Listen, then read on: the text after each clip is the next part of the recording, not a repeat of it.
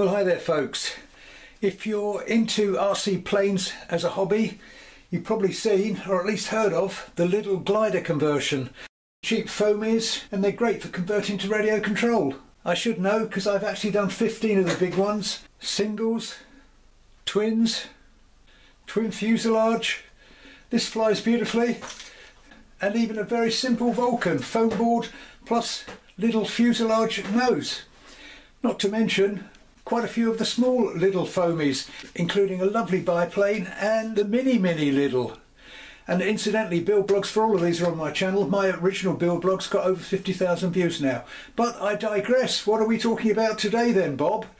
Well, a while ago I built my number 14, which was very lightweight, and the idea was to use it for FPV flying. I'm still on that quest. And if you've watched my channel, you'll see that it's, I am making progress, but I'm using my Bixler for it because it's got a better space inside for putting the electronics in. Anyway, this was my number 14 and I converted it from originally tractor to a pusher. So it's my only pusher version of a Lidl. So if you're thinking about building a Lidl, why not build a pusher? This video shows how I went about converting my number 14 from a tractor, that's prop on the nose, to a pusher, but equally useful to somebody who wants to build themselves a pusher Lidl glider conversion. God, that's a mouthful. So how did I go about it? Let's take a look. As you can see, I also added an undercarriage. So easy to make. Coat hanger wire, a couple of wheels, a couple of those locking things on it. I made a video about that, I'll link it. it takes off from the ground nicely and of course that necessitated putting a rudder on and I've used a bit of 5mm foam board but with the paper peeled off which is not easy so quite a decent sized rudder to give it some authority when it's on the ground. And of course, elevator there is foam board, and that's also bigger than kind of standard bit that you cut off when you're making one of these conversions. Anyway, eventually it turned out really well. And as it's the first pusher out of my 15 Lidl builds, loads of build blogs for those on my channel, but this is the first pusher, as I say, so I figured I'd share it with you guys. First step was to remove the motor, and luckily enough I already had a redundant nose sticking around from, from another Lidl so that looks clean and tidy. I've stripped out the innards nice big orifice that runs all the way through here and with the help of microwave cheese and pasty ready meal I'm already on the way to making a mount to make this a pusher. The motor I was using on this is a tiny little 1811 1811 brushless with a 5040 prop but as far as I could see that was way too big to possibly mount on a pusher here. You'd have ended I'd have ended up with a motor so high off fuselage it would have looked ridiculous. So what I did was take a three blade prop and chop it down to what I think's a more suitable size for this and probably similar thrust to a oh three bladed 5030 it's a 5030 but we will see anyway I can always change it so this is where I'm at now. Made a nice little template. It's going to sit there like so. Motor will be about here. And the thrust line of the motor, I believe, should take you down to about towards a third of the chord if you want this to fly properly. So next step I'm going to do anyway is to turn this into a, a mount, probably foam board and popsicle stick. So when that is actually finished I'm going to be able to have camera transmitter and its own LiPo way down here, well away from speed controller and power for the brushless motor. I'll come back to you once I've actually built my mount. And at the moment, this is so lightweight, it should be a nice slow flyer. Right, well that's my mount. Two pieces of 5mm foam board. The question is, is does it need two or, or is one enough? Plus, do I need to put a little brace in there? I can't imagine there's going to be much force on it anyway so I think it might just be glue and and looking at the width of that it's not going to affect the airflow very much around the prop. Might try and give that a little bit of a feather to make it more aerodynamic but that's going to go on there. I think I've got the angle about right. So onwards and upwards. So there we are my little pod and the little tiny plywood mount are on and 90 degrees got to try and keep it true it just remains for me to glue it on top of the fuselage. And fortunately I've got some of this red covering tape kicking around so I have actually faired it a bit, slightly improved the airflow. Okay, and I couldn't resist putting a little bit of barbecue stick in it to help locate it and give it a bit more stability.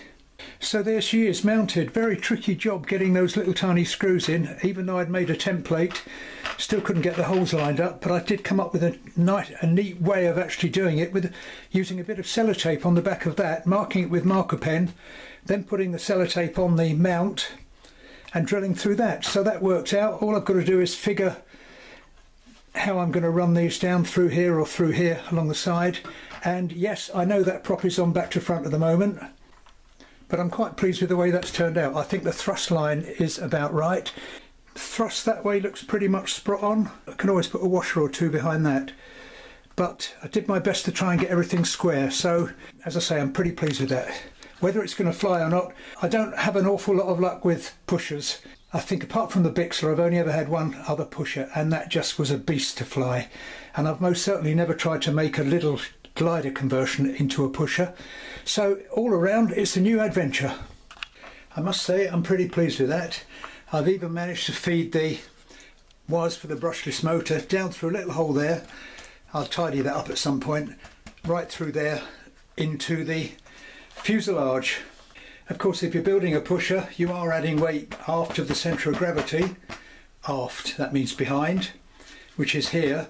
So at the moment, in the absence of an FPV camera or transmitter on the nose, I've got a couple of little bits of lead tucked in there and it's really nice on the centre of gravity with the 800 2S there.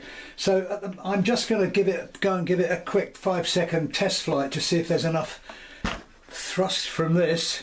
I did actually change the angle of that a little bit since I since I first glued it on and I've now got a bit more room there. I could actually trim a prop and make it even bigger. So I'm going to give it a quick test, see if it's going to get off the ground. So we'll see how that goes and whether or not I need to actually put a slightly less trimmed down three bladed prop on there.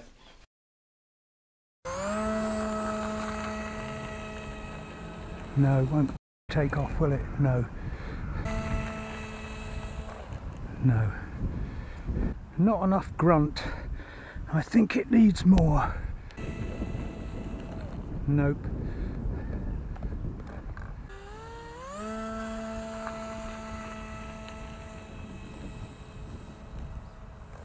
No. Is that nose heavy? So after that first not too great attempt at getting off the ground, it was time for a rethink. I was happy that there should be enough thrust from the motor because it had driven it before and I'm sure the three blade prop was doing just as well as the prop I had on when it was flying as a, as a tractor plane. So I was happy about that. I seem to remember too at some point I actually hand launched it and it was uncontrollable. I don't, unfortunately, I didn't get that on video, but undoubtedly there was something seriously wrong with this. Now, one thing I wasn't happy about was advice I saw online was thrust angle should go somewhere down like this, as in the diagrams, to centre of gravity, which is crazy steep high. Now if you compare it with my Bixler, you'll see I've chopped and changed it so it's much more like the Bixler as you can see here. So it was time for another test flight. Unfortunately HatCam wasn't behaving very well and it was pointing a bit too high so you didn't really see much of the early part where I hand launched but the rest of it is pretty good. So let's take a look at that second test flight.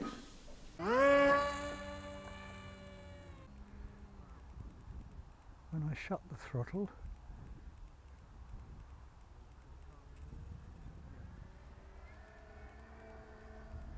want to go over that way.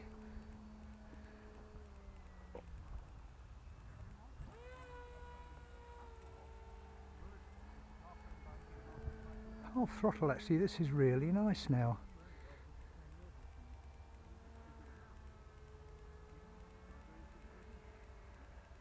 Very lightweight, it's less than 200, under half throttle now, this is flies very nicely. That's with the 3S in it.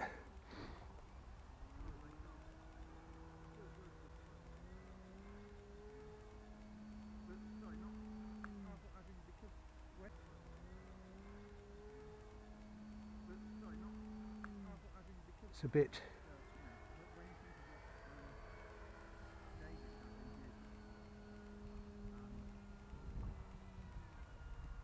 Oh, I think the battery just died. I gave it some throttle, tried opening it up, risking going low, risking going low there. Gave it some throttle to climb back and I think the battery died. But that is a great improvement on the flight I had day before yesterday where I had struggled to keep control of it at all. So that was it folks. My first Lidl pusher conversion had a successful test flight. I'll show you again the kind of angle I've got there if you're thinking about making a pusher version. And as I said, it's never going to be an FPV plane because there just isn't really enough room to put the FPV and a flight controller in this. But all the same, quite a fun, lightweight little flyer. Made a note to myself there, yeah. 3S480 LiPo and it needed 20 grams in the nose to get the centre of gravity right. But pretty happy with that and as I say I've made 15 of the big Lidls. Here's a Lidl picture of just a few of them.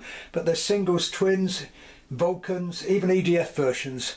The actual little glider is only in the shops once a year but there are other, plenty of other versions online and it's a great airframe for converting to radio control and there are loads of build blogs on my channel showing you just how to do it in step-by-step -step detail my favourite of my 15 big conversions is the twin fuselage one here.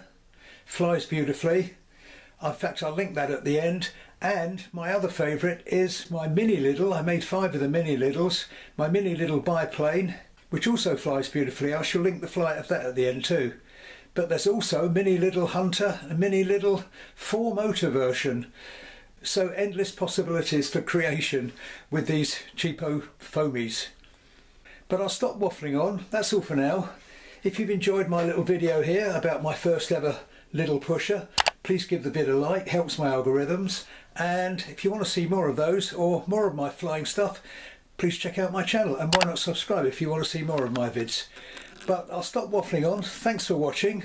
Hopefully I'll catch you all again soon. And here are those vids of my twin fusee and the biplane. Catch you all later. Bye for now.